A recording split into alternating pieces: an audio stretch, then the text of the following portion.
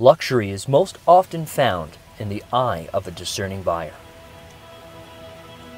In this light, our newest luxury listing emerges from the context of Canal Days, a charming downtown core surrounded by sandy beaches and set architecturally and professionally in Pleasantville, Port Colborne. This contemporary two story home features an inviting grand entrance, movie theater, numerous customizations and upgrades, in a backyard oasis.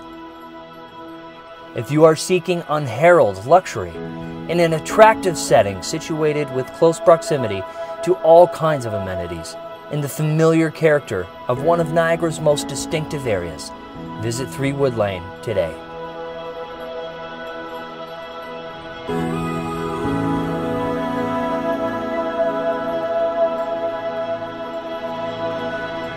Thank